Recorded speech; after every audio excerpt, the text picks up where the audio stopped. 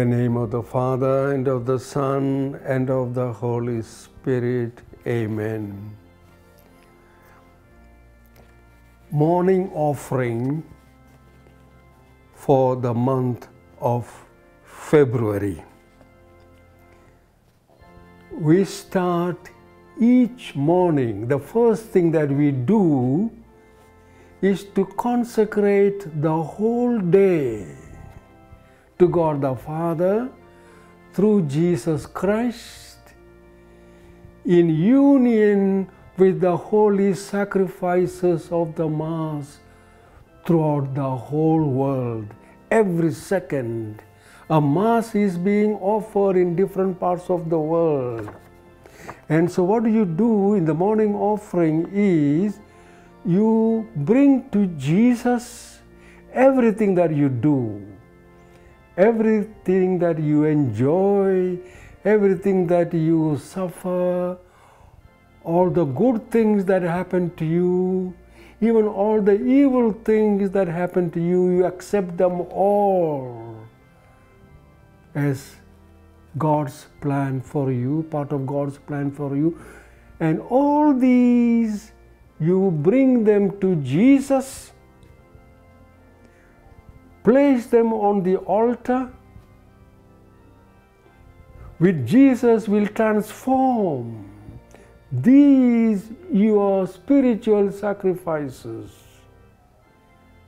your gifts.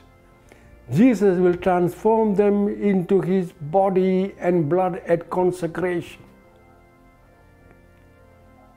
And your small sacrifices will become the perfect sacrifice of Christ on the cross. And together with the priest offering the Eucharist in different parts of the world, you offer yourself to the Father. In the way you can take part in all the masses. Everything you, you do becomes prayer in union with the sacrifice of Jesus on the cross. Everything that you do becomes prayer, a sacrifice of thanksgiving to God the Father.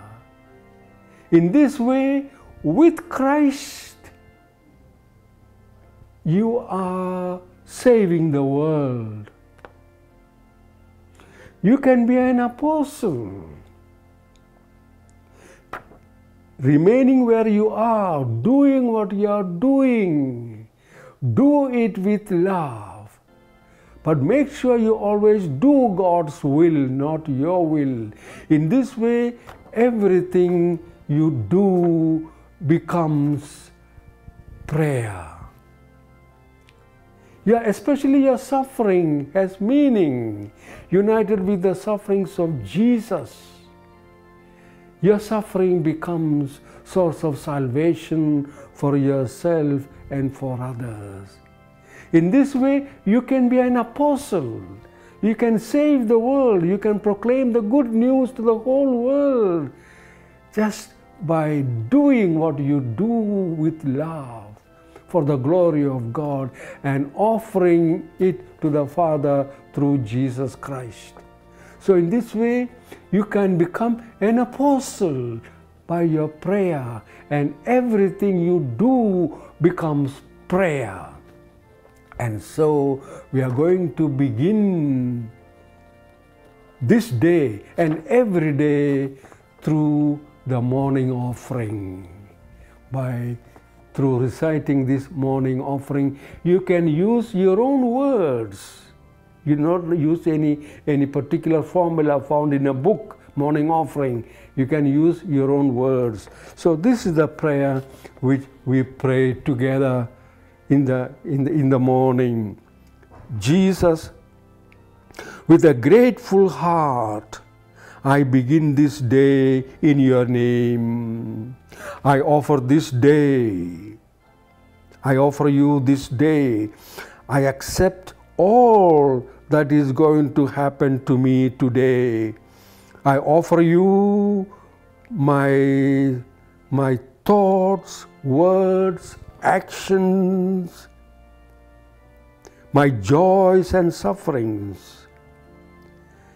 Accept these spiritual sacrifices and transform them into your sacrifice on the cross, the perfect sacrifice which gives perfect honor, praise, adoration, and thanksgiving to the Father, and brings about peace and salvation to the world. in all the masses offered throughout the world, I pray with the whole church and Mary, your mother, for all intentions of your sacred heart, forgiveness of sins, for our daily bread, for religious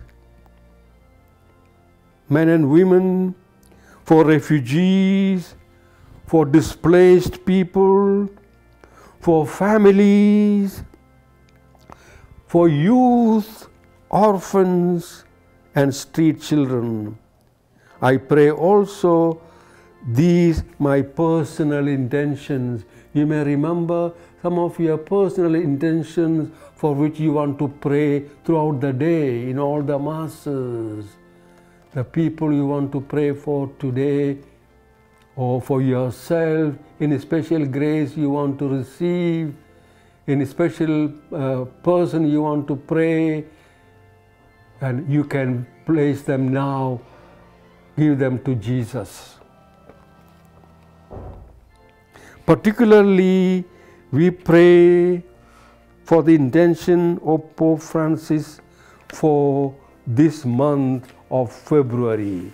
Yes, we pray for the intention of Pope Francis for the month of February. We pray that those with a terminal illness and their families receive the necessary physical, spiritual care and accompaniment. I repeat, the intention of Pope Francis for the month of February. We pray that those with a terminal illness and their families receive the necessary physical and spiritual care and accompaniment. Those who are terminally ill, there is no cure possible. All that we can do is to give some medicine, some uh, you do some palliative care, to to uh, to give some painkiller, and wait for that death to come. And these people need special attention from others. They need prayer, they need encouragement because they can easily get discouraged. Some people are even tempted to, to do some euthanasia, that is mercy killing, that gives an injection so that this person may die soon. No, no. We have no right to take away our lives or lives of somebody else. Let God help that person to live through this suffering and these sufferings of the one, the sick person, as well as their family, accepted with love, can do a lot of good for their souls and for the salvation of the world. So, during this month of uh, February, we pray for the intention of Pope Francis for for uh, such, such people. So in this way, the whole day can become prayer. Everything we do can become prayer. Our ordinary daily activities can become prayer of thanksgiving through Jesus Christ to God the Father. This is something marvelous. You can pray while you are engaged in your daily duties, whatever they may be washing, teaching, digging, or whatever. Your work becomes prayer, and while working, you are being an apostle. This is apostleship of prayer. so, this is how we begin each day by offering our entire day to God the Father through Jesus Christ. In this way, you can pray always. The whole day becomes prayer. so, this is how we begin today with the morning offering. And we live this morning offering throughout the day. Amen. Have a good day.